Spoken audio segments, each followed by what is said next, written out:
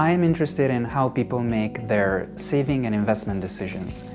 I am looking at an economic model where people of different ages choose to save different amounts and they also choose differently how to invest between stocks and bonds, for example.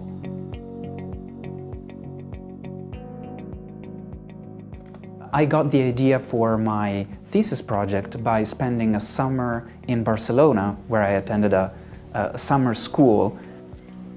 I applied to both a PhD program in Stockholm University and Uppsala, but Uppsala was my top choice.